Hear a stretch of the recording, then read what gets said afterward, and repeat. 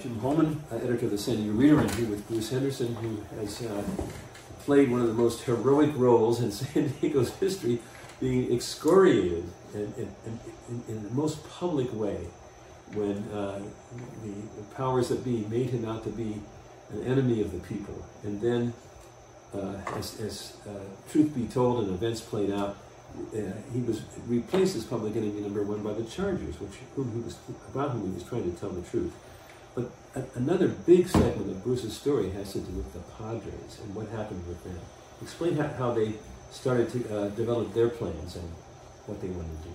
Well, the Padres came into the city. It was in '99 or something like that, and they uh, they first represented that they they would uh, they wanted a new stadium, of course, as I had warned. Yeah. It was laid out in the Chargers agreement that the Padres couldn't be at Qualcomm any longer.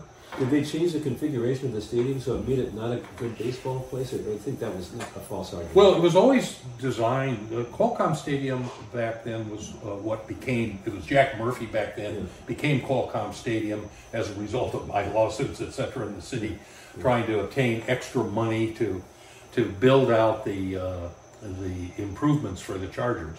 It had always been designed as a football stadium, but it worked quite well for baseball. For, for baseball.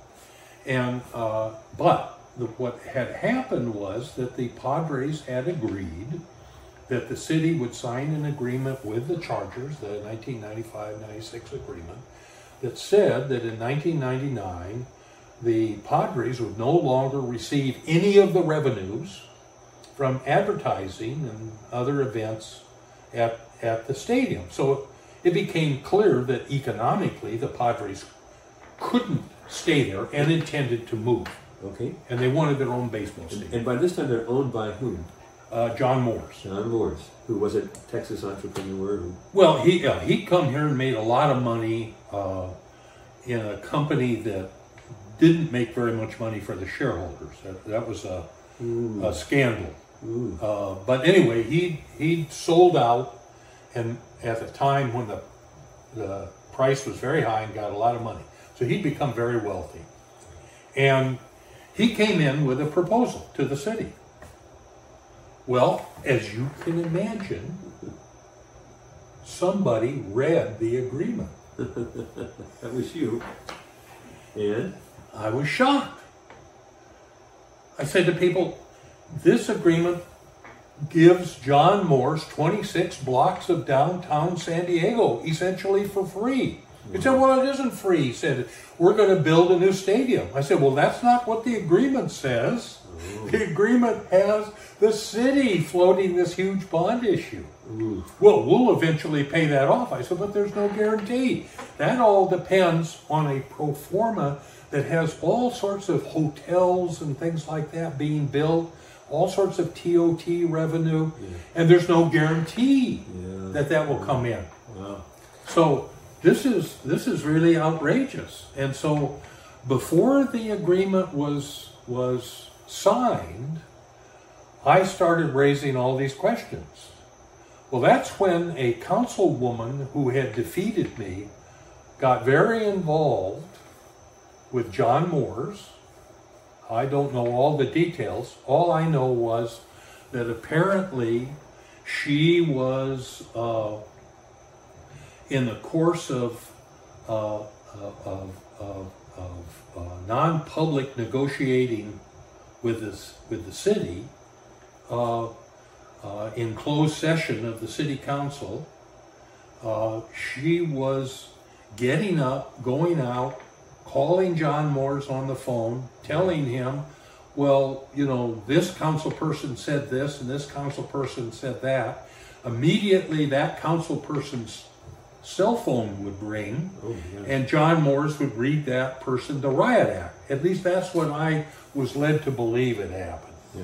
And so, what the city finally entered into the agreement and said, well, this agreement is perfect. Jeez. And then, of course, reality started to set in. As, for example, John Moores came down to the uh, property owned by the Frost family and said, I want your property. And they said, well, here's what we think the current market value is. And he goes, well, under redevelopment law, you don't get current market value. Oh, You get the value of the property before any possible rezoning would occur gosh. or any development would occur. And so I get it at a fire sale price. Wow. And the Frost tried to, as I recall, went to court and they lost and Wow. they were entered into some settlement. But in the event, John then came in. There's a lot of stories here. I mean, Jack McGrory, who was the city manager at that time, suddenly leaves the city manager and goes to work with a joint venture with the Padres Yeah. to develop some of this property. Mm. Jack, who I like, Jack, it became a multi multi millionaire Yeah. uh, with the with the Price family. I don't know that whole story, but the bottom line is uh, there were a lot of people who got very very wealthy who opposed me and said your reading of the contract is wrong. Yeah. So you made them a lot of money. Anyway, neither here nor there. Again, what you had was a corporate welfare situation where this extraordinary corporate welfare was being provided to one particular person Wow. to redevelop 26 blocks of downtown uh, according to his vision.